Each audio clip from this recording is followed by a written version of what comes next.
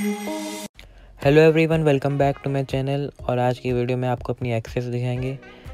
इसमें आपको polish apply करके दिखाएँगे क्लीन करेंगे उसको। तो देख सकते हैं, हमारी गाड़ी साफ़ है, लेकिन शाइन नहीं कर रही उतनी। तो हमारे पास पॉलिश है, उसको अप्लाई करेंगे।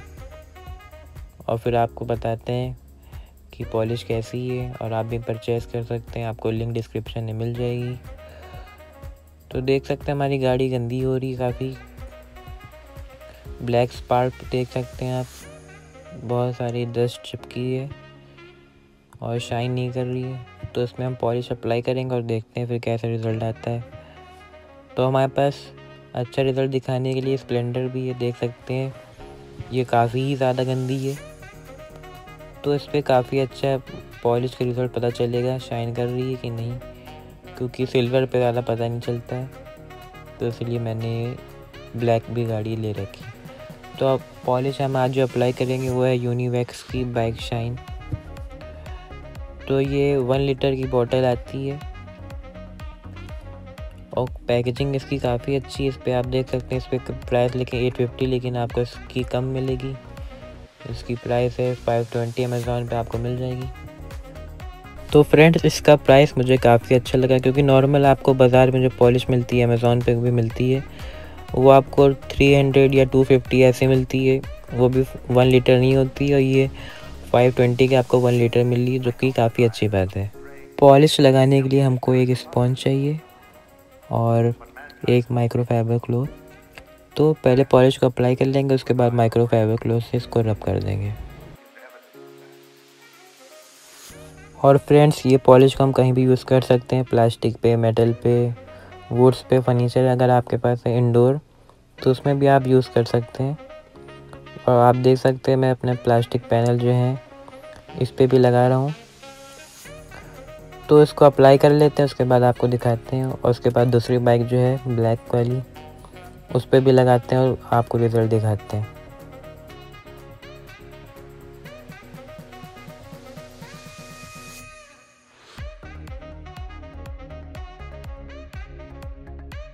और फ्रेंड्स ये हमारा मेटल का मफलर कवर है इस पर भी हम लगा लेते हैं। क्योंकि शाइन नहीं कर रहा था तो इस पर भी हम पॉलिश लगा लेते हैं। तो हम इसको कहीं भी यूज़ कर सकते हैं, जैसे मैंने आपको बताया। तो यहाँ पे प्लास्टिक का सरफेस है, इसको भी लगा देते हैं।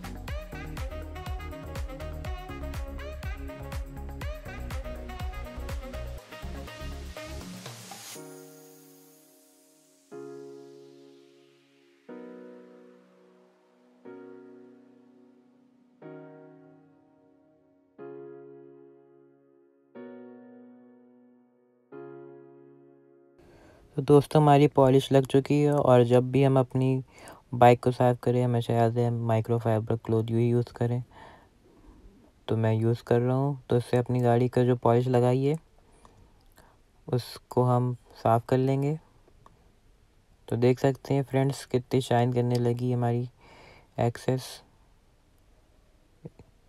इसको अच्छे से साफ़ कर लेंगे और उसमें ज़्यादा मेहनत करने की ज़रूरत नहीं है आपको। जैसे ही आपने पॉलिश लगाई इसको आप तुरंत इसको साफ़ कर सकते हैं।